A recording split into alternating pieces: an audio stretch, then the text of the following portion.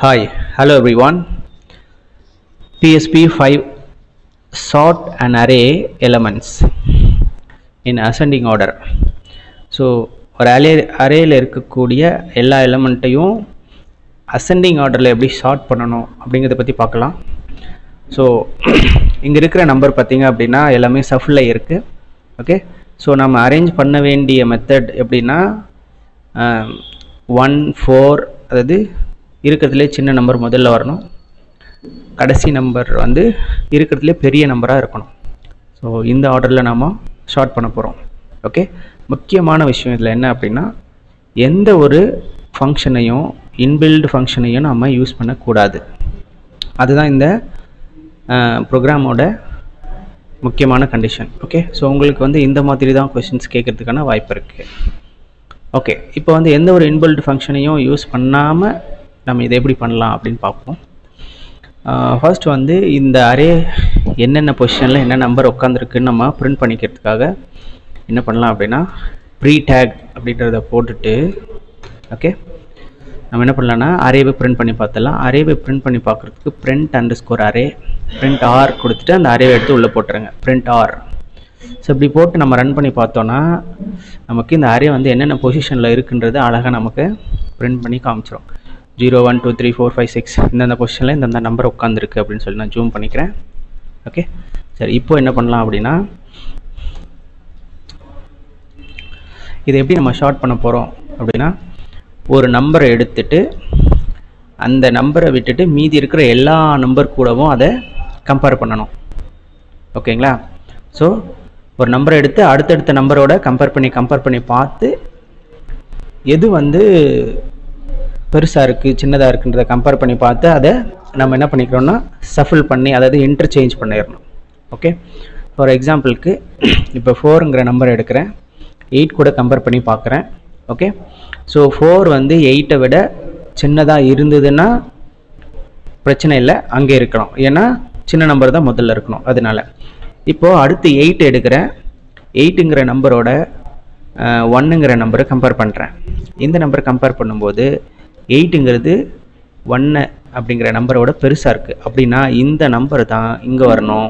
இந்த எயிட்டுங்கிறது இங்கே போயிடணும் ஓகே? அடுத்து என்ன பண்ணுவேன்னா இங்கே ஒரு பொசிஷன் இருக்கு இல்லையா? இந்த நம்பரையும் அடுத்த நம்பரையும் கம்பேர் பண்ணுவேன். இப்போ கம்பேர் பண்ணும்போது ஓகே? ஸோ இது ரெண்டும் கம்பேர் பண்ணும்போது இங்கே இருக்கிற நம்பரும் இங்கே இருக்கிற நம்பரும் சின்னதாக இருந்ததுன்னா மாற்றிக்கணும் ஓகே? இந்த மாதிரி தான் பண்ண போகிறோம் ஓகே? ஸோ ஃபர்ஸ்ட் என்ன பண்ணோன்னா நம்ம செய்ய போகிறது ஒரு நம்பருக்கு எல்லா எல்லா நம்பரையும் நம்ம செக் பண்ணணும். அடுத்த நம்பருக்கும் எல்லா நம்பரையும் செக் பண்ணணும். அடுத்த நம்பர் அப்படி பார்த்தீங்கன்னா இங்கே இருக்கிற ஒவ்வொரு நம்பருக்கும் நம்ம இங்கே இருக்கிற எல்லா நம்பருக்கும் நம்ம செக் பண்ணியே ஆகணும். அப்படின்னா கண்டிப்பாக ஒரு ஃபார் லூப் நம்ம போட்டே ஆகணும். For each for a each அப்படின்னு சொல்லி போட்டுருங்க. ஓகே ஸோ இந்த லூப் ஜஸ்ட்டு வந்து ஆஸ் அப்படின்னு போட்டுட்டு டாலர் என் அப்படின்னு போட்டுக்கோங்க. ஓகே? இந்த ஃபஸ்ட் லூப் வந்து எல்லா நம்பருக்கும் ஒரு ஒரு வாட்டி அது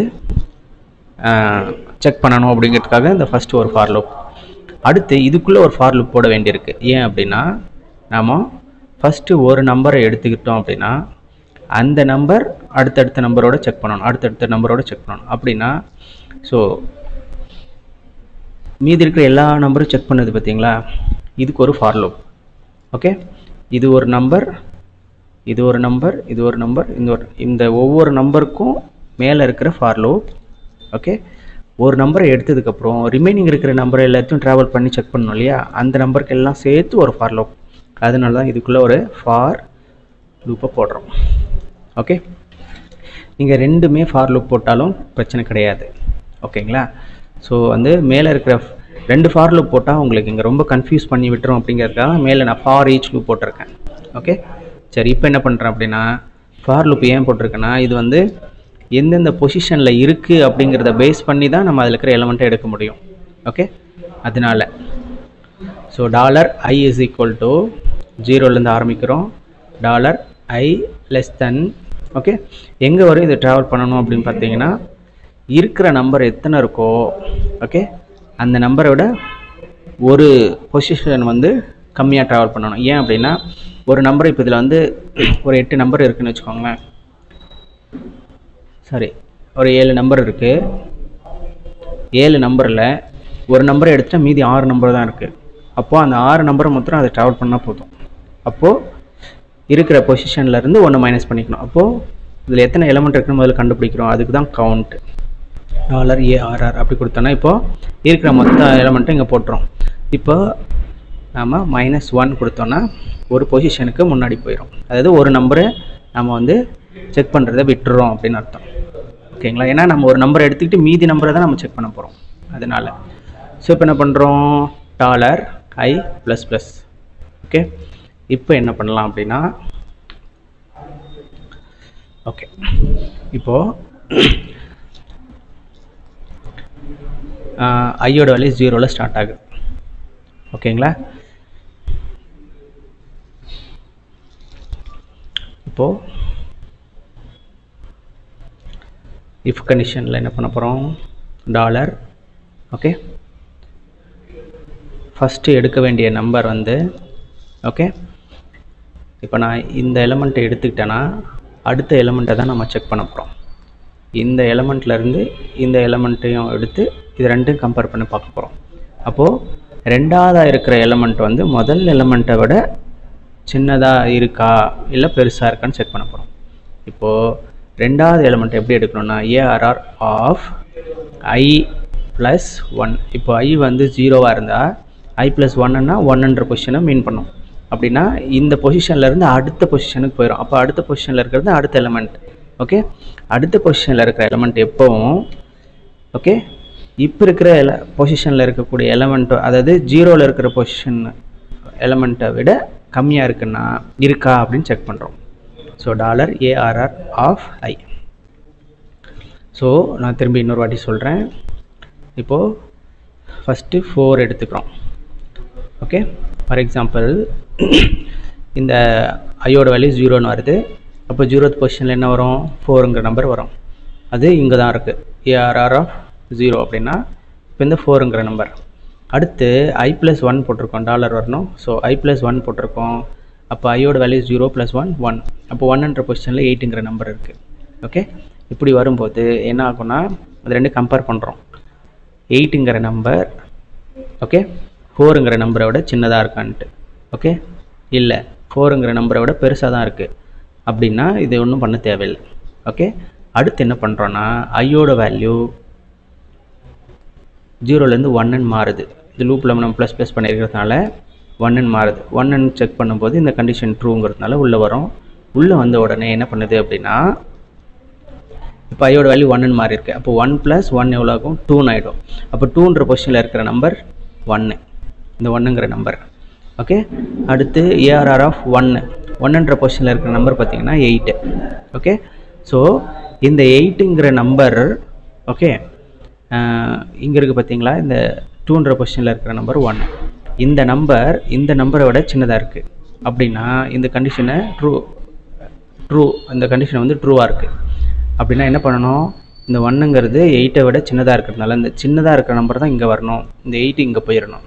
ஓகே அப்போது நம்ம இன்டர்சேஞ்ச் பண்ணுறோம் நம்பர் இன்டர்சேஞ்ச் பண்ணுறோம் அந்த பொசிஷனுக்கு எப்படின்னா அதுக்கு வந்து டெம்ப்ரரியாக ஒரு வேரியபிள் தேவைப்படுது. ஓகே இந்த வேரியபிள் என்ன பண்ணோம் அப்படின்னா ஏற்கனவே இந்த ஐ ப்ளஸ் ஒனில் என்ன வேல்யூ இருக்கோ அந்த வேல்யூ முதல்ல எடுத்து டெம்ப்ரரி வேரியபிளில் போட்டுறேன். ஓகே இப்போ இந்த டெம்ப்ரரி வேரியபிளில் இருக்கக்கூடிய வேல்யூ எடுத்து அதுக்கு போட்டுக்கலாம். ஓகே இப்போது இந்த ஐ ப்ளஸ் ஒன் இந்த பொசிஷனுக்கு என்ன நம்பர் வரணும்? எயிட்டுங்கிறது வரணும். எயிட்டுங்கிறது எதில் இருக்குன்னா இதில் இருக்குது இப்போது ஓகே ஸோ அப்போ என்ன பண்ணோம்? Of I plus one equal to இதை எடுத்து போட்டுறோம். ஓகே ஐ ப்ளஸ் ஒன்ன்ற பொசிஷனுக்கு ஐயில் என்ன இருந்துச்சோ அதை தூக்கி இங்கே போட்டோம் ஓகே இப்போது ஐன்ற பொசிஷனுக்கு ஏற்கனவே ஐ ப்ளஸ் ஒனில் இருக்கிற வேல்யூ வந்து டெம்பிள் எடுத்து வச்சுருக்கோம். அதை நம்ம தூக்கி போட போகிறோம் okay dollar A R R of dollar I இந்த ஐக்கு எந்த பொசிஷன் வரணும்னா ஐ ப்ளஸில் ஒன் ஐ ப்ளஸ் ஒனில் இருந்த வேல்யூ தான் வேணும். அந்த ஐ ப்ளஸ் ஒனில் இருந்த வேல்யூ தான் நம்ம டெம்பனில் எடுத்து வச்சுருக்கோம்.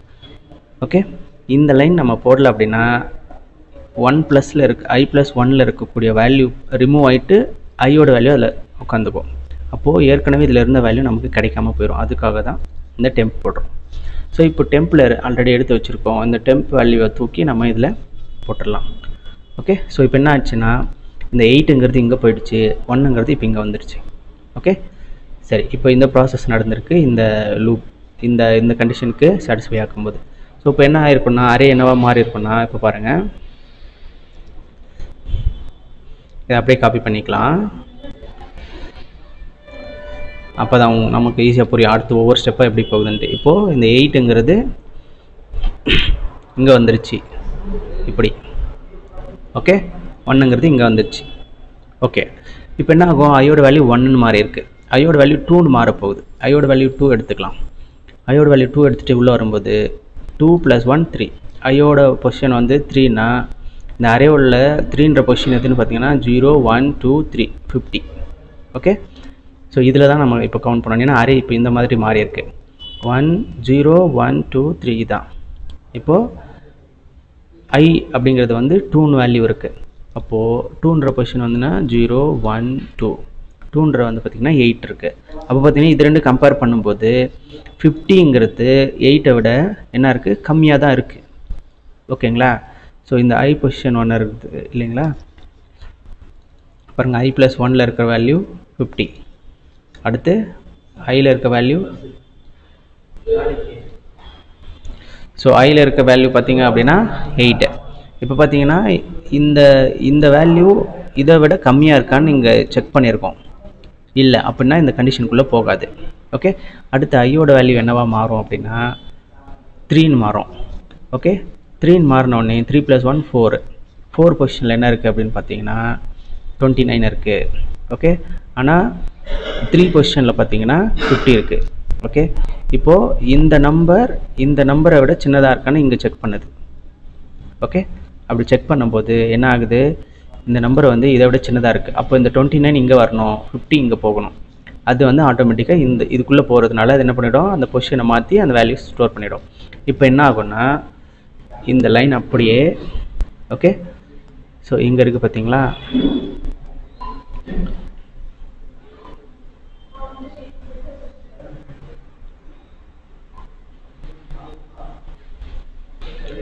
இந்த டுவெண்ட்டி இங்கே வந்துடும் ஃபிஃப்டி இங்கே வந்துடும் இப்படி.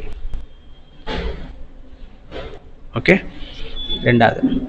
இப்போ பாருங்கள் இந்த மாதிரி தான் அரேஞ்ச் பண்ணிக்கிட்டே வருது. இப்போ அடுத்த பொசிஷன் எடுக்கும்போது ஐயோட வேல்யூ வந்து ஃபோர்னு மாறும். ஓகேங்களா ஃபோர்னு மாறிச்சுன்னா ஃபோர் ப்ளஸ் ஒன் ஃபைவ் ஃபைவ்ன்ற பொசிஷனில் என்ன இருக்குது ஃபிஃப்டி இருக்குது ஓகேங்களா சரி ஃபோ ஃபார்ட்டின்னு இருக்குது ஃபார்ட்டிங்கிற நம்பர் அடுத்து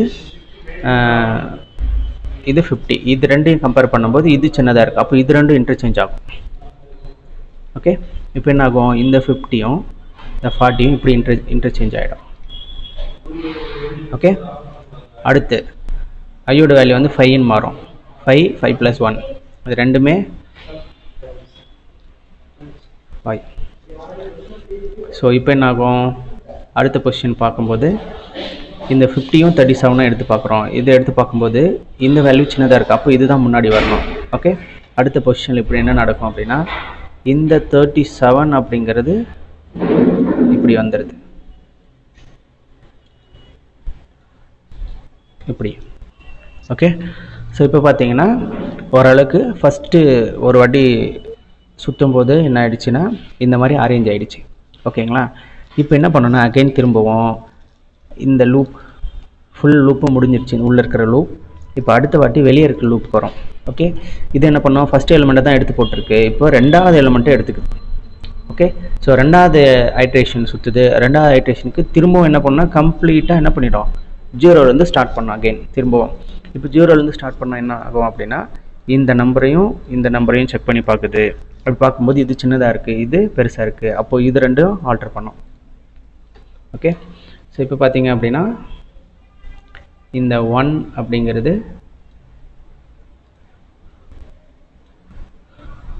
இப்படி மாறிக்கும். ஓகே அடுத்து இது ரெண்டையும் கம்பேர் பண்ணி பார்ப்போம் இது கரெக்டாக தான் இருக்குது அதனால் இது இன்டர்சேஞ்ச் ஆகாது. அடுத்து இது ரெண்டும் கம்பேர் பண்ணி பார்ப்போம் இது கரெக்டாக தான் இருக்குது இது ரெண்டும் கம்பேர் பண்ணி பார்க்குது. அடுத்து இது ரெண்டும் கம்பேர் பண்ணி பார்க்குது. இப்படி பார்க்கும்போது இது இப்போ இது சின்னதாக இருக்குது அப்போ சின்னதாக இருக்கிறது முன்னாடி வரணும். இது அப்படியே தூக்கிட்டு வந்து இங்கே போட்டுரும். ஓகே அடுத்து இது ரெண்டையும் கம்பேர் பண்ணி பார்ப்போம். இது பெருசாக தான் இருக்குது சின்னதாக இல்லை. ஓகே ஸோ இந்த மாதிரி ஒவ்வொரு வாட்டியும் இது கம்பேர் பண்ணி கம்பேர் பண்ணி கம்பேர் பண்ணி உள்ளே கொண்டு வந்துக்கிட்டே இருக்கும். இப்போ பார்த்தீங்கன்னா ஆல்மோஸ்ட் எல்லாமே இது ரீஅரேஞ்ச் ஆகிடுச்சு ஓகேங்களா ஸோ இந்த மாதிரி ஒவ்வொரு வாட்டியும் இந்த லூப் சுற்றிக்கிட்டே இருக்கும்போது இந்த நம்பர் வந்து ரீஆர்டர் ரீஅரேஞ்ச் ஆகிட்டே இருக்கும். ஓகேங்களா அப்படி ஆகும்போது பார்த்திங்கன்னா நமக்கு ஆட்டோமேட்டிக்காக இந்த ஷார்ட்டிங் அசெண்டிங் ஆர்டர் ஷார்ட்டிங் நமக்கு கிடைச்சிரும். ஓகே இது முடிஞ்சதுக்கப்புறம் நம்ம அரே வந்து லூப் ரெண்டு லூப் முடிஞ்சதுக்கப்புறம் நம்ம என்ன பண்ணலாம்? அரே வந்து பிரிண்ட் பண்ணி பார்க்கலாம். பிரிண்ட் அண்டர் ஸ்கோர் ஆர் கொடுத்துட்டு டாலர் ஏஆர்ஆர் அப்படின்னு போட்டோம் அப்படின்னா இப்போ பார்த்தீங்க அப்படின்னா நமக்கு முதல்ல அரே எப்படி இருந்துச்சு? இப்போ எப்படி அரே பிரிண்ட் ஆகுதுன்னு சொல்லி பார்ப்போம்.